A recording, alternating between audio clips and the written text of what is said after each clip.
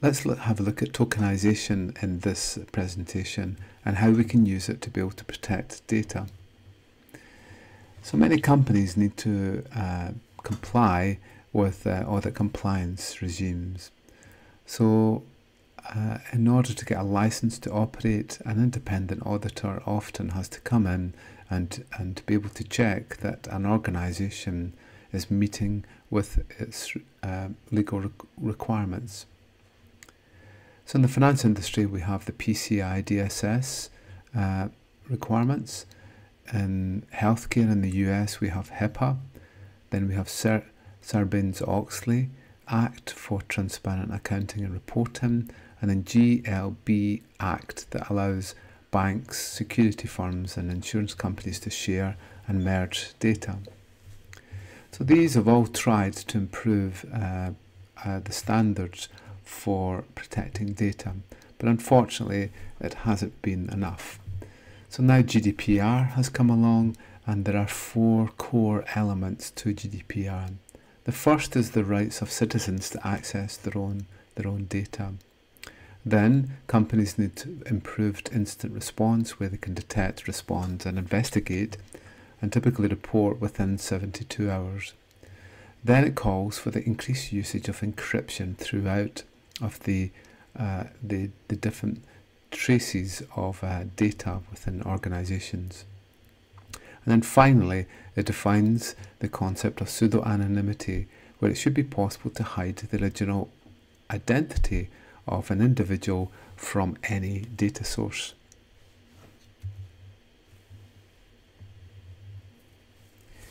So the concept of hiding an identity has been around for many decades and we often created uh, a record which had personally identifiable information. So in this case, we might relate that to a primary account number uh, within a bank. What we then want to do is to create another database which has a surrogate identifier. So even looking at this identifier here, it would not be possible to trace it back to the identifier of the uh, source. The transactions that are made are then made with these surrogate identifiers so that someone looking at the transactions will not be able to link it back to the original identity. So what we need then is a surrogate mapping table where we take the real ID and map it to a surrogate ID. When we look at the transactions, we look at an ID here and map it back to the real ID and then with the real ID we can actually find the personally identifiable information.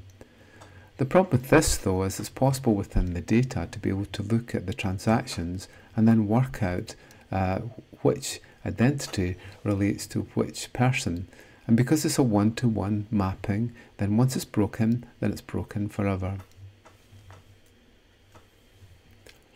So tokenization is, is one route to improve data security.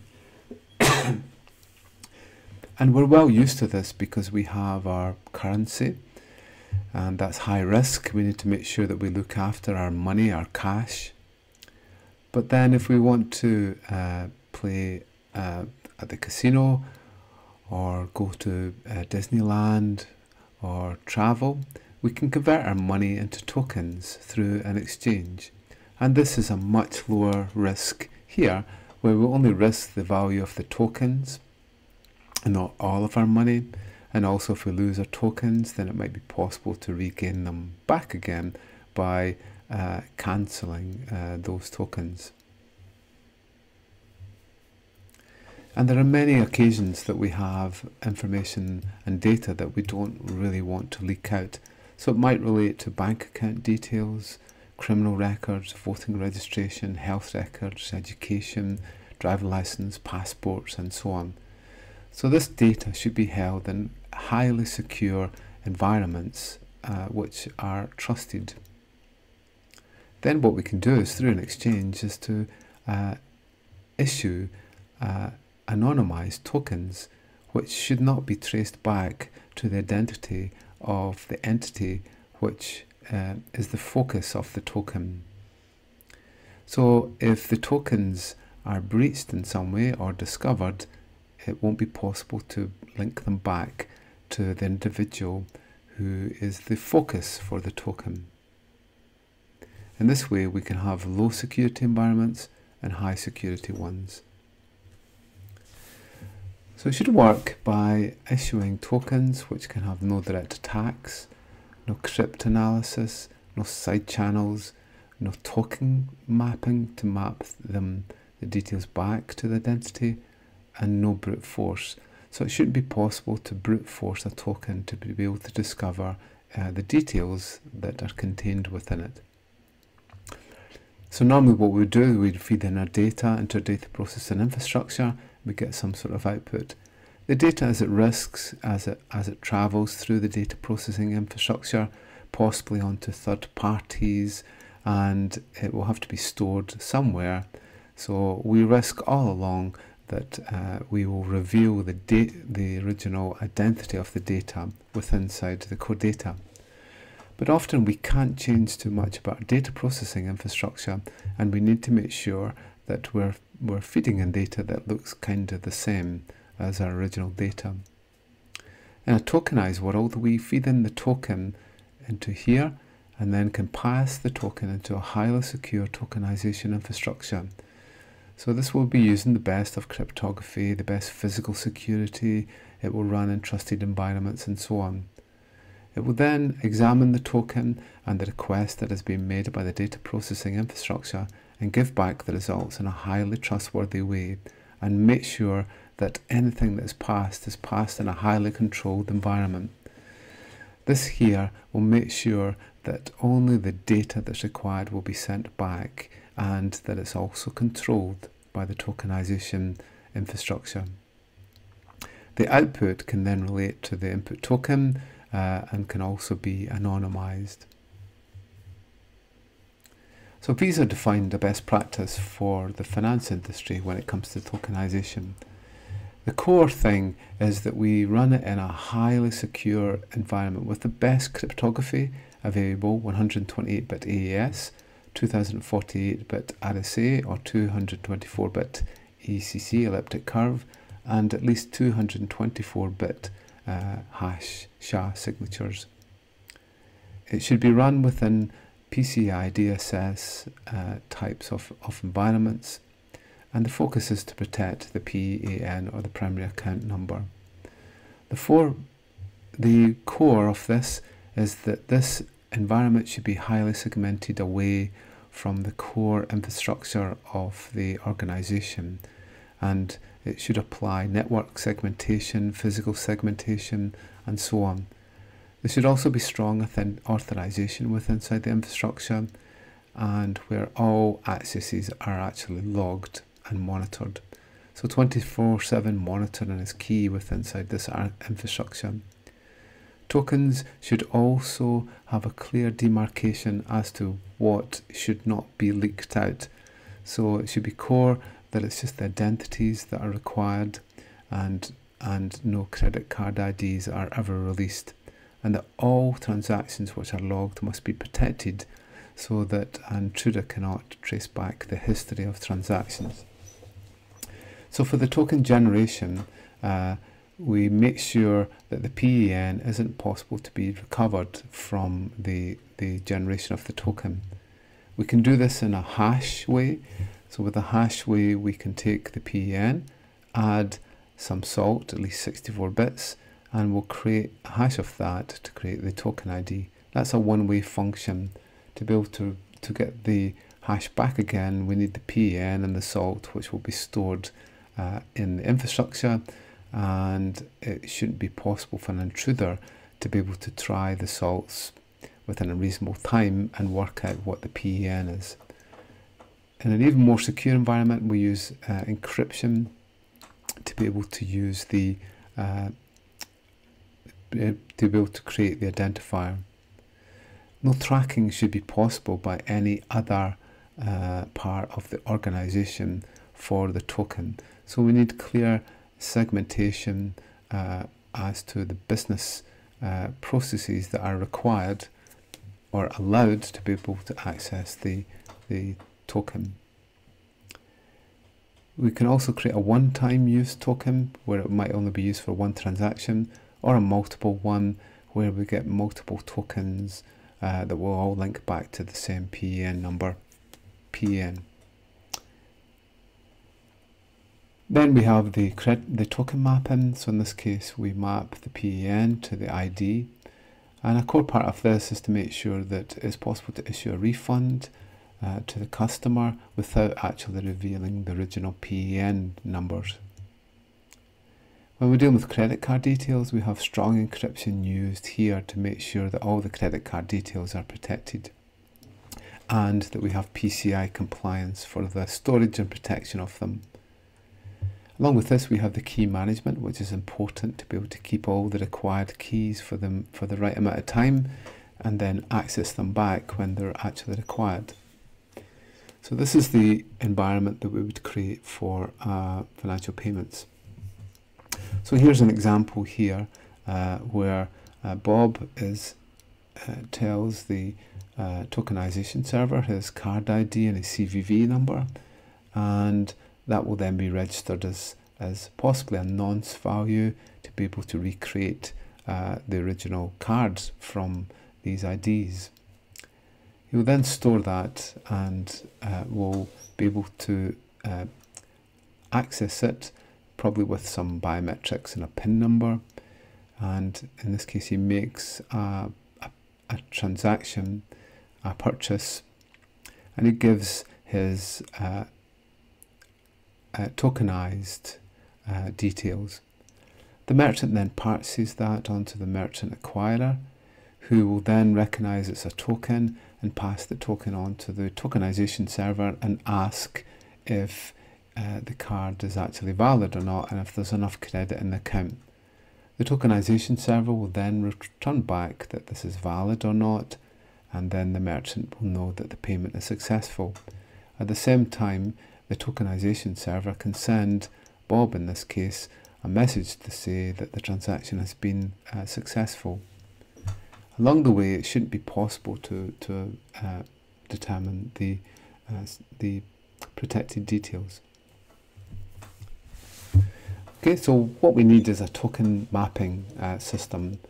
So an efficient way to do this is to be able to create a random nonce and then to take the data and convert it into tokenized data and which has the, the same type of format of the original token.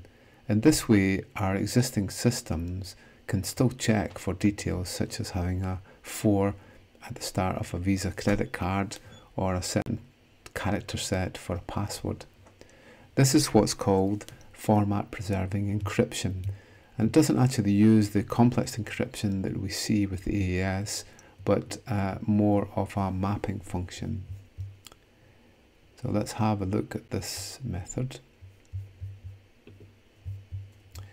Okay, so we have a credit card uh, number here.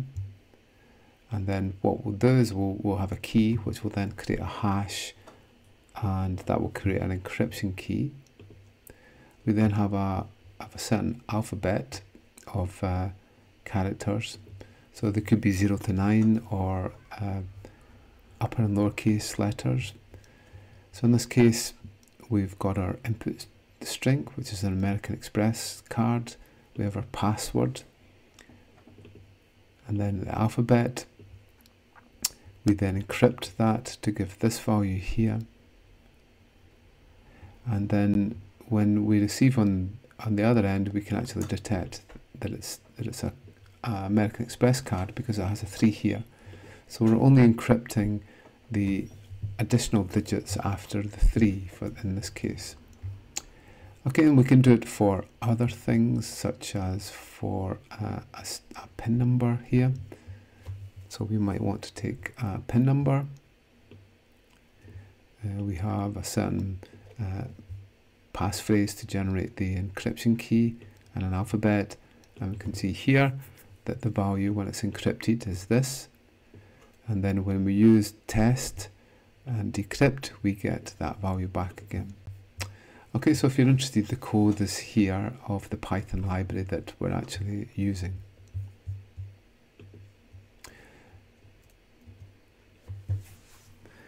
Another example that we have is, is within pseudo-anonymization.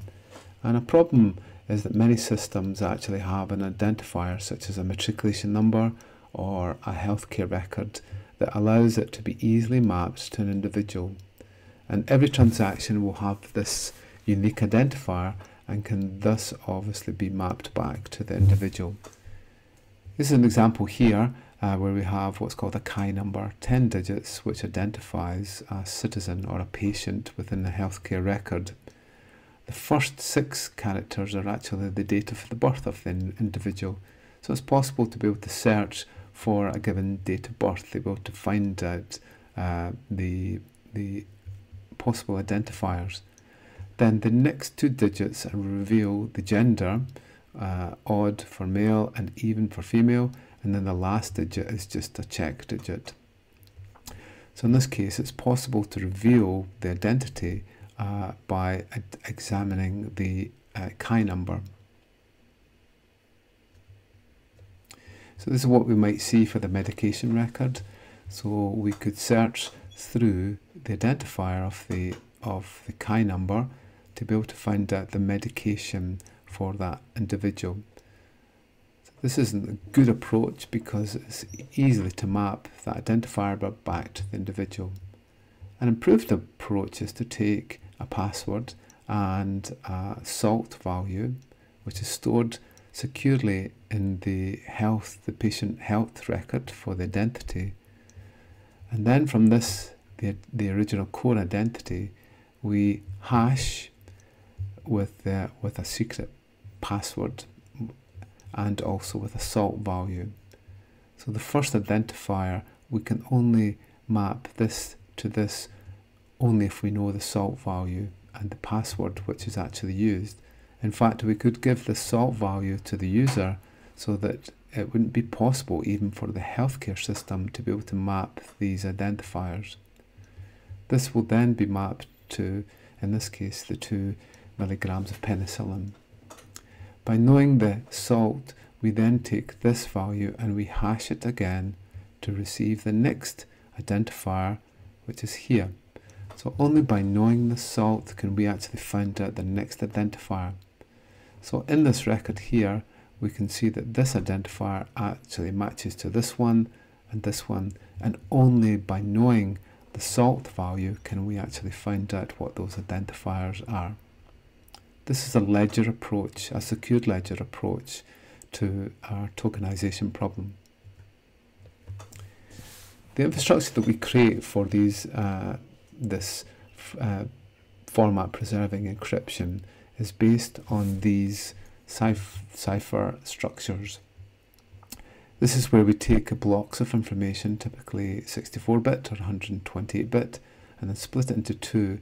We take the left bits and then we add it on to a function of the key and the right set of bits and then do a modular add. We swap them over and do the same thing again. So these are parts of the key that are actually applied. The great thing with this is that on the other end we just do the reverse. It's the same function but we actually apply the key back in reverse. There is a standard known as the NIST standard SP838G which defines two different types of format preserving Feistel based encryption. With this we have FF1 which has 10 rounds that we go through and FF3 which has 8 rounds. We then define a radix which is the number of characters which will be used for the formatted output. So in hexadecimal that might be 16 or if in lowercase letters that it will be 26. We then work out the key each time with the iteration number i and also for the thing that we're preserving this is the original key maybe the credit card number. And the key is going to be our secret key that we generate say from a password or a phrase.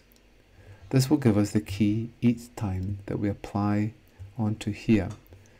We then use an add operation for this to be able to uh, create the addition or if we're decrypting, we create a modular subtraction.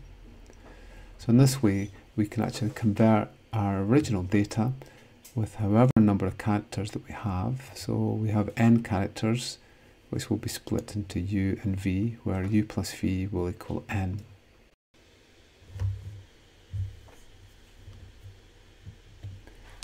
So another type, another method that we can use is what's called honey encryption.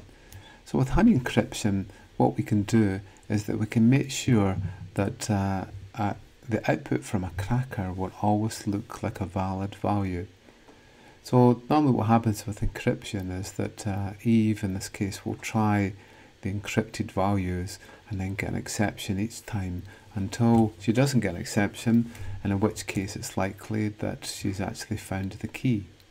With honey encryption what happens is that no matter which keys uh, Eve tries she will always get a valid output so with Honey Encryption, we map a whole valid set of credit card details with their probability, and then the out, then the token that we produce will always produce uh, a correct uh, credit card value. So with Honey Encryption, what should happen is that uh, in this case, this is the credit card, and we're going to try the wrong key here and see what it gives us when we try to decrypt it.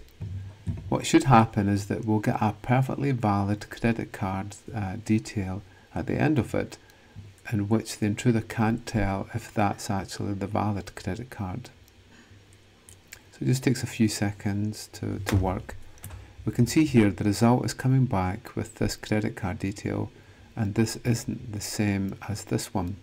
But the intruder can't tell that they haven't been successful because this looks like a perfectly valid credit card.